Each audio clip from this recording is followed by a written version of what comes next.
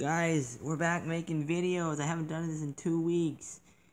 Um, the point of me saying that is because I'm trying to make a thumbnail. As usual, that's what we do at the beginning of every video. It's nothing new. It, I do this every time. Uh, I recently put closed captioning on my TV.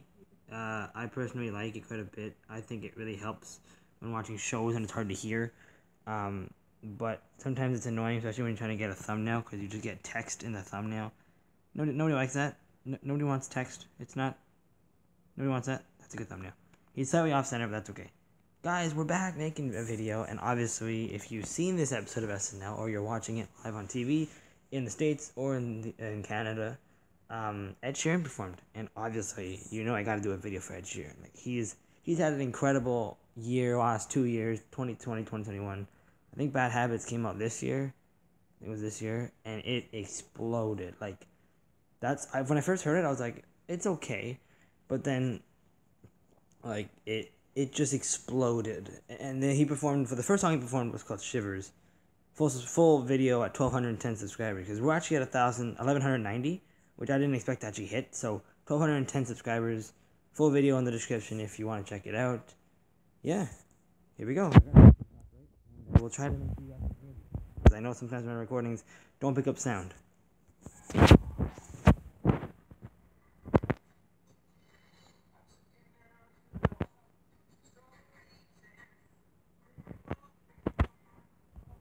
Very quiet. It's always hard to hear.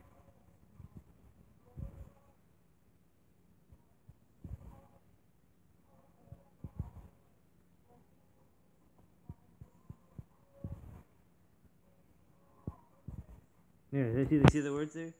See how the see, so the sunlight cracks. See how it kind of the camera starts falling and the, the closed captioning start kicking in. I don't like it, but it helps you not for music but for TV shows.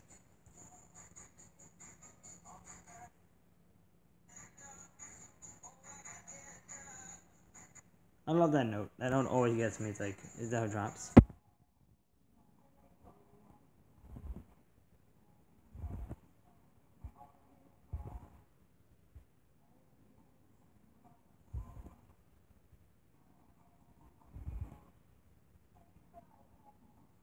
Yeah, there's some lyrics if y'all want to read the words.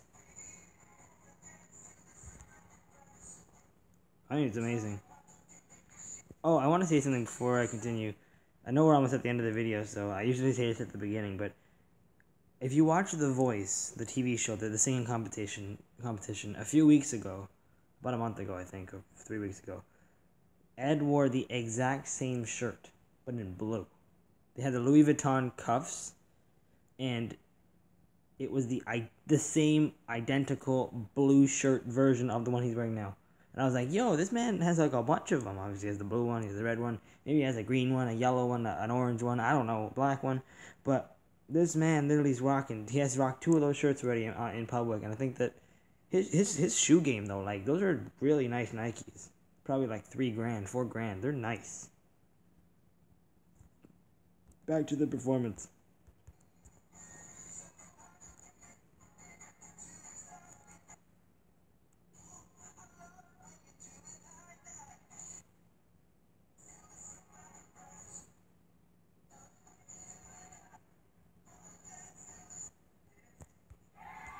I think it was an absolutely great performance. Uh, yeah, there's not much else to say about it. I mean, Ed Sheeran's mega talented. He's like everyone's favorite redhead.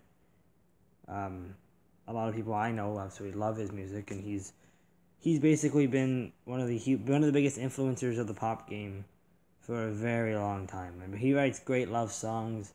He writes great songs in general, and I think that this album, uh, multi, was it Divide? Divide. I think it was divide or multiply. Divide. Multiply? I don't know. Whatever that album was. The one he released recently, which I listened to. Yeah, it was very well done. I think Two Step is like one of the. It's a very interesting song to listen to because it's not very Ed Sheeran. It's very almost almost like trap music, which I think is very interesting of him to go to. But it's good. I mean, there's nothing wrong with it. And before I end this video, I want to say one thing. Um, if you've seen any of my older videos about Travis Scott, about Astroworld, I think I did a reaction to Astroworld when it came out. Um, I don't think he's at fault. I think that he didn't know that he he recognized something was going on, but he thought it was part of the experience. I don't think he actually knew the extent of what actually happened. I think that it was a case of poor judgment, and that those concerts will always have drugs. Will always have. Uh, I mean, the security obviously was lackluster. There were just too many people. Um, people were injected with things. Like, what do you? I don't know. I will talk more in the second video because this one's already gonna be a little bit long. Like the video, subscribe. 1210 subs, and uh, yeah, prayers to all the people who, uh, unfortunately, didn't make it. Also, the people who were injured, and hopefully will make it.